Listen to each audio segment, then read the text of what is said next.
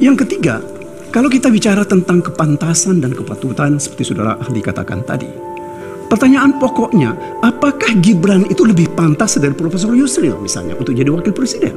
Sidang perselisihan hasil pemilihan umum presiden dan wakil presiden tahun-tahun 2024 kembali digelar, Kamis 4 April 2024.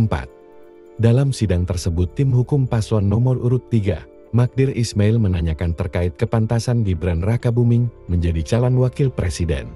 Magdir juga membandingkan antara Gibran dengan Prof. Yusril Esa Mahendra. Mendengar pernyataan Magdir, salah seorang dari kubu Prabowo Gibran merasa keberatan dengan pendapat Magdir. Saya adalah kalau terkait dengan ini, apakah memang ada petunjuk-petunjuk dari agama kita yang memperkenankan seorang pejabat negara, ya, seorang penguasa untuk menempatkan anaknya sebagai pengganti dari dirinya? Itu yang kedua. Yang ketiga, kalau kita bicara tentang kepantasan dan kepatutan seperti saudara ahli katakan tadi, pertanyaan pokoknya, apakah Gibran itu lebih pantas dari Profesor Yusril misalnya untuk jadi wakil presiden?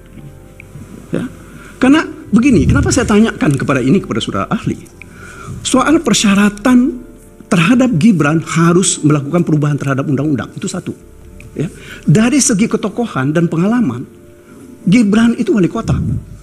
Profesor Yusril ya dia adalah mantan menteri sekretaris negara keberatan yang mulia karena sudah menjadikan pendapat ya. uh, ber, langsung pertanyaan saja Pak.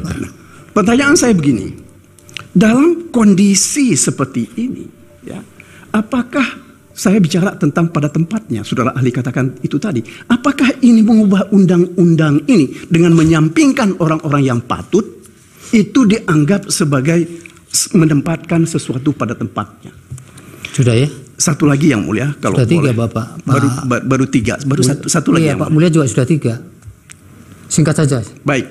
Saya ingin pendapat saudara ahli masih terkait dengan dengan soal etika ini tadi. Ini kan sudah ada juga putusan DKPP yang menganggap bahwa KPU itu dalam istilahnya mereka melakukan perbuatan melawan hukum